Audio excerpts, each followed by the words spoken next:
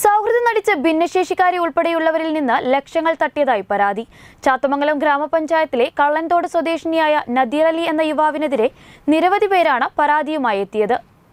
സൗഹൃദം നടിച്ച് നിരവധി പേരിൽ നിന്നായി ലക്ഷങ്ങൾ തട്ടിയ യുവാവിനെതിരെയാണ് നിരവധി പേർ പരാതിയുമായി രംഗത്തെത്തിയത്. കളന്തോൾ സ്വദേശി നദീർ അലി എന്ന യുവാവിനെതിരെയാണ് പരാതിയുള്ളത്.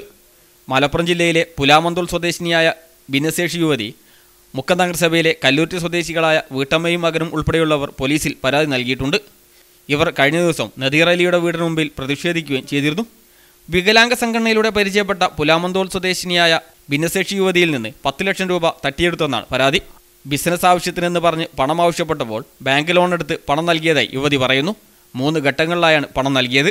പണം തിരിച്ചു ചോദിച്ചപ്പോൾ തിരികെ തരുന്നില്ലെന്നും താൻ വീട്ടിലേക്ക് അതിക്രമിച്ച് കയറുമെന്ന് കാണിച്ച് വീട്ടിലേക്ക് കയറുന്നതിനെതിരെ കോടതിയിൽ നിന്ന് ഉത്തരവ് സമ്പാദിച്ചതായും യുവതി പറഞ്ഞു. കഴിഞ്ഞ ദിവസം യുവാവിന്റെ വീടിന് മുമ്പിലെത്തി പ്രതിഷേധിച്ച യുവതിയെ പോലീസെത്തി മാറ്റുകയായിരുന്നു. യുവതി വനിതാ കമ്മീഷനിലും പരാതി നൽകിയിട്ടുണ്ട്.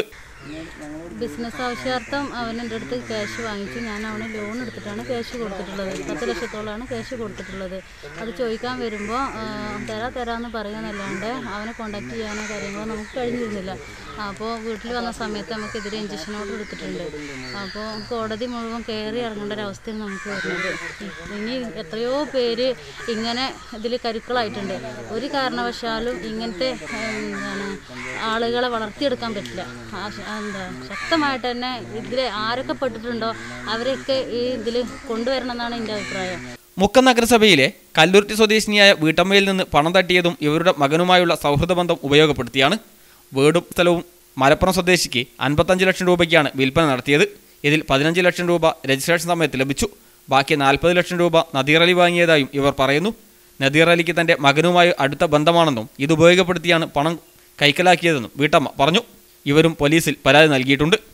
മലപ്പുറത്ത് തിയേറ്റർ നിർമ്മിക്കാനെന്ന് പറഞ്ഞ് മറ്റ് നിരവധി പേരിൽ നിന്നും പണം തട്ടിയതായും പരാതിയുണ്ട്. സി പ്രാദേശിക വാർത്ത മുക്കം.